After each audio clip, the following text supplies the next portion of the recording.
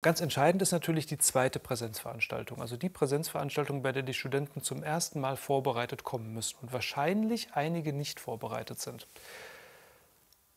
Ein Fehler, den man machen kann, typischer Fehler ist, in der zweiten Veranstaltung zu fragen, wer hat sich denn alles vorbereitet oder wer hat alles die Videos geschaut. Dann melden sich 50 Prozent. 80 Prozent haben sich vorbereitet, aber nur 50 Prozent melden sich, weil der Rest denkt, sie kommen gleich dran oder so was mache ich dann? Ich sehe, 50 Prozent haben sich nur vorbereitet. Oh Gott, ich bringe mich in eine schlechte Situation, selbst in eine doofe Situation. Ja?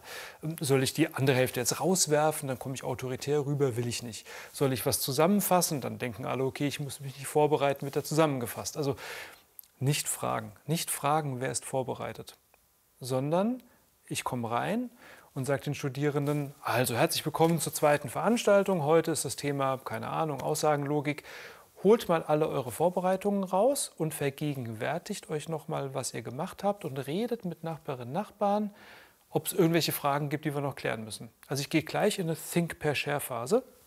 Studenten holen ihre Sachen raus, reden miteinander, Murmel, Murmel, Murmel, Murmel. Ich laufe rum, kann so ein bisschen mithören, was wird geredet, krieg so ein Gefühl dafür, wo liegen vielleicht Probleme und komme vielleicht am einen oder anderen vorbei, der nichts rausgeholt hat, der hat sich nicht vorbereitet, dann verwickle ich den in ein Zweiergespräch, sage, nicht vorbereitet, schlecht, bleib sitzen, du wirst aber sehen, du kannst gleich nicht mitmachen und so weiter. Das heißt, ähm, ich wirke auch noch so ein bisschen pädagogisch bei den wenigen, bei denen ich das feststelle. Dann komme ich nach vorne und dann sammle ich die Fragen von den Studenten. Und ähm, wir gehen in die Fragenbeantwortung. Also ich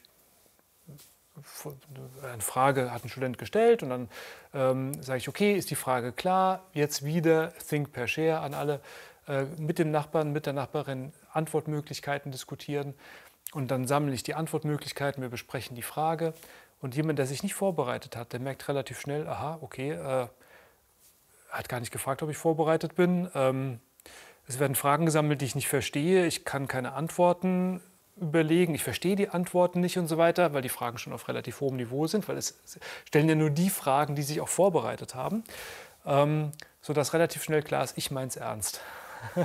und ich glaube, das ist ein gutes, gutes Verfahren, dass die Studierenden merken, okay, ähm, ich kann hier wirklich in der Präsenz nur mitarbeiten, wenn ich mich vorbereitet habe. Es wird immer irgendwelche Studenten geben, die sich nicht vorbereiten, aber irgendwo endet auch meine Verantwortung als Lehrender. Also ich gebe ihnen jede Menge Unterstützung. Ich gebe ihnen Materialien, ich gebe ihnen Hilfsangebote, Tutorien. Sie können in meine Sprechstunde kommen. Ich habe ein Online-Forum, bei dem Sie Fragen stellen können und, und, und, und, und.